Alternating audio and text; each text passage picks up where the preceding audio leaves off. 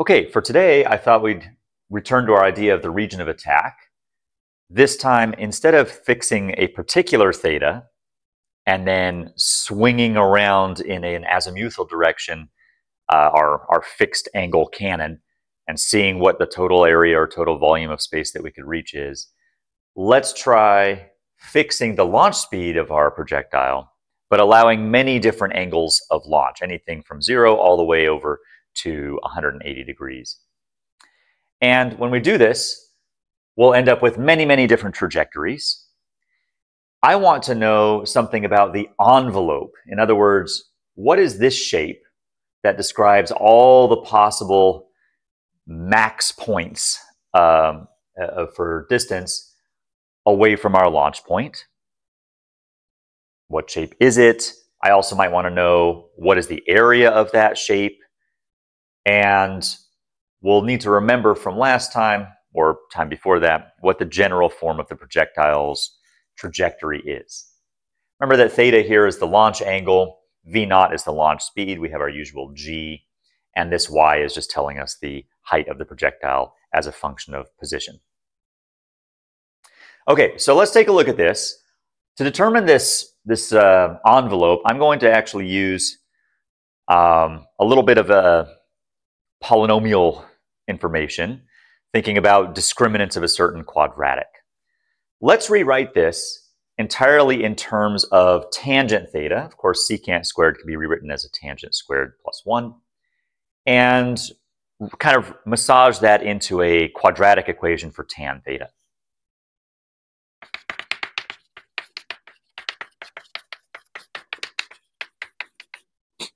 So here is our trajectory rewritten in terms of only tangent thetas.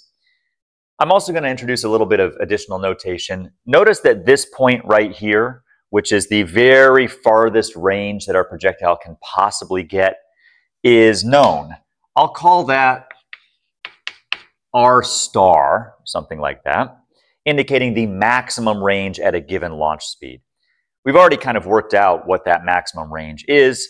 It occurs when theta is a 45 degree launch angle, and its value is v naught squared over g. I'm going to rewrite this a little bit in terms of this r star just to make the notation a little bit cleaner. Now let's go ahead and rewrite this in terms of a quadratic formula involving tan theta.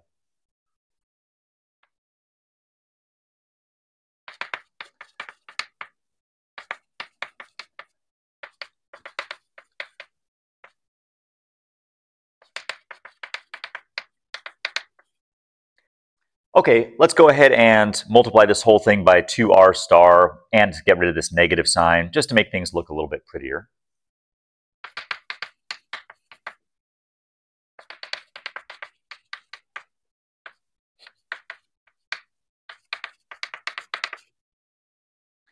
And now we can see that we have a quadratic equation in terms of theta, or tan theta. And I know that this quadratic equation will only have real solutions. It'll only have real number roots when the discriminant is non-negative. And that's going to put a bound on what the allowed values of x, y, and r star are. Because we know that any possible theta between 0 and 180 should give us a trajectory here. The x and the y's are going to give us some constraints on the actual shape of that trajectory or the envelope of that those trajectories. So really, I'm just saying, what are the possible real number solutions to this for tan theta? Instead of actually going and looking at the full quadratic formula, we can just look at the discriminant of this and solve for when that discriminant is greater than or equal to zero.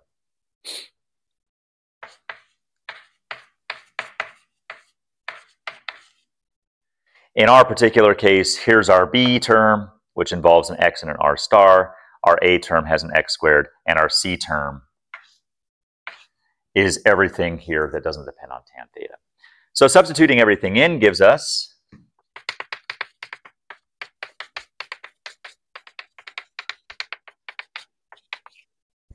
this condition.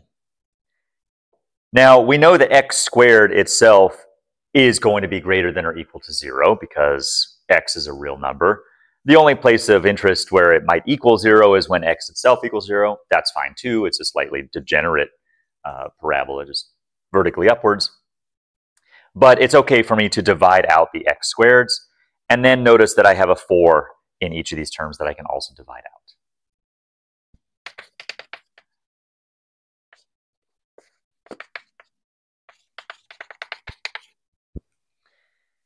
This inequality will give us some constraint on x and y that is allowed to exist in order for there to be a real value launch angle that gives us that trajectory. So let's bring this up to the top of the next board. I'll rewrite it in terms of y, and we'll see what we get in terms of a, an envelope. Okay, so here we are. I went ahead and rearranged things a little bit.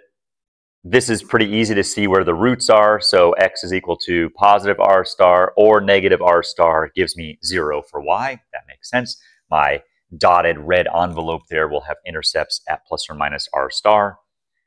We can also see that when we solved that inequality, we ended up with a y less than or equal to all of this. So the allowed values of y for all my projectiles have to be below this particular parabola. So the envelope is a parabola. It's another parabola.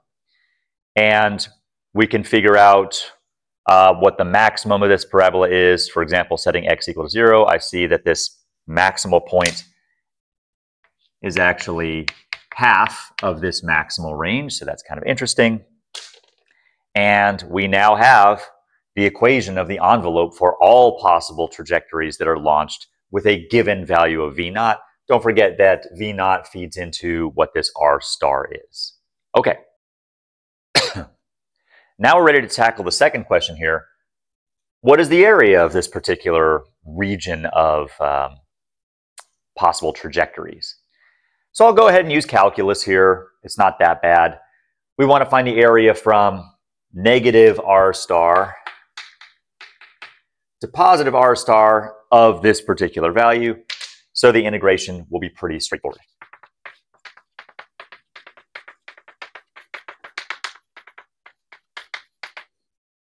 Notice also that we can make a real quick change of variables here because I see this dimensionless quantity x over r star and also the r stars show up in the bounds of my integral. So let's make a u substitution, say here, of x over r star.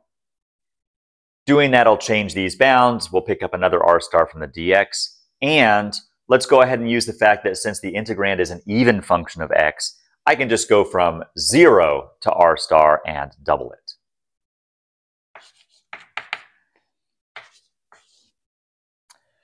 When x is equal to 0, of course, u will also be equal to 0. When x is equal to r star, u will be equal to 1. That's convenient.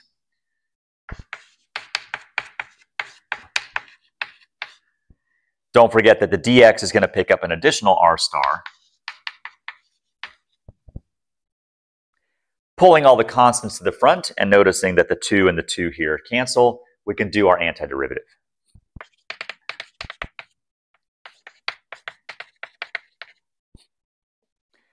Okay, we're pretty much out of room here. Let's bring this to the top. We'll finish off the, the antiderivative. Okay, so I did the antiderivative of the constant 1 term and then the minus u squared term, power rule. Plugging in the 0 to either of those will, of course, give 0 plugging in the top value for the fundamental theorem of calculus, I'll get 1 minus 1 third, which gives me 2 thirds.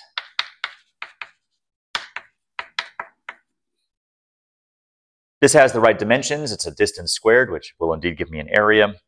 But let's go ahead and just use our last result, which is that r star itself is v naught squared over g, to rewrite this in terms of the given parameters.